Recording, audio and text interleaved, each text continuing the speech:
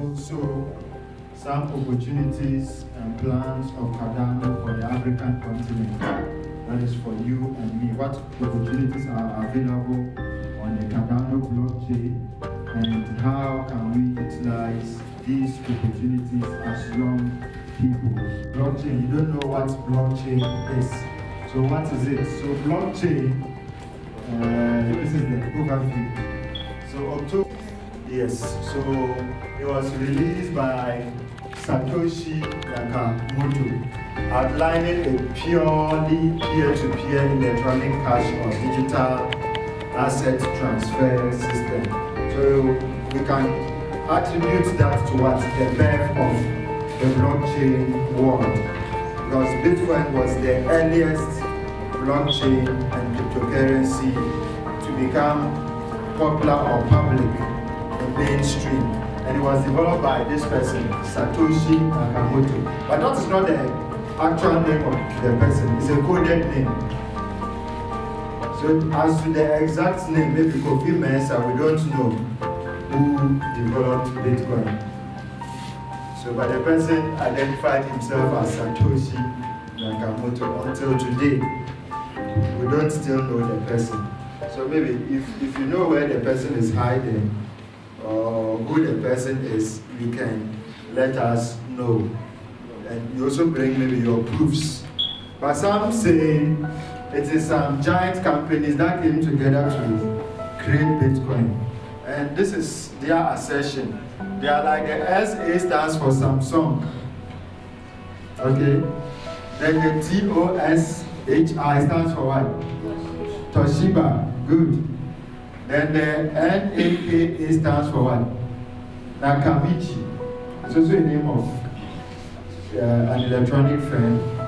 Then the MOTO stands for Motorola. Good. So people are of the view that it's Samsung, Toshiba, Nakamichi, and Motorola that came together to develop Bitcoin. Well, it's just a speculation, but let's see.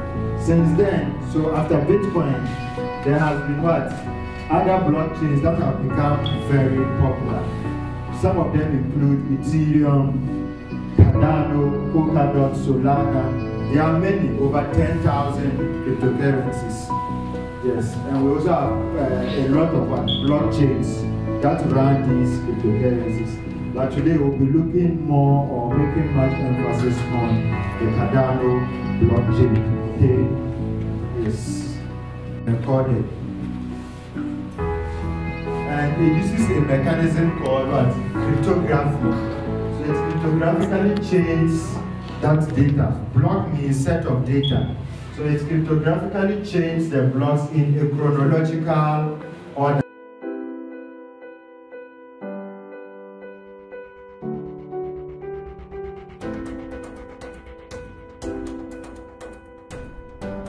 Since I am sending, I will click on what? The send option. Is that not it? Yes. I will click on the send option. Then you see the QR code option. So you see my QR code. It comes like, so what do I need to do? I'll just go and scan this. So it has picked it already. So you see the address. It has picked the address already. Then I'll now input the amount. I am sending one ADA. So, and what was the balance that was there? 30. Okay. So once I select one, then I'll hit on continue. Then I'll enter my password, spending password, which I will mention. Let's go back to the dashboard and see.